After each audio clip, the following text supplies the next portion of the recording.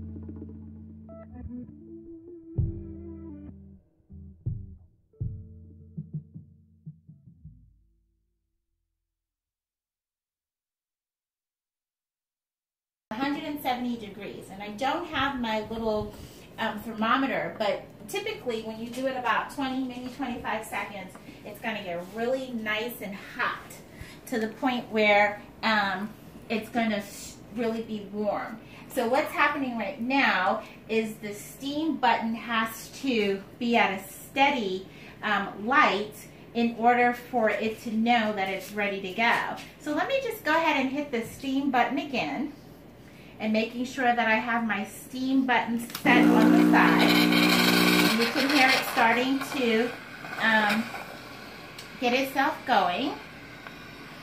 And it should be ready to go here in a second. On the steam setting, which is on the side of the machine. And if you're looking, you can see that it is steaming just a bit.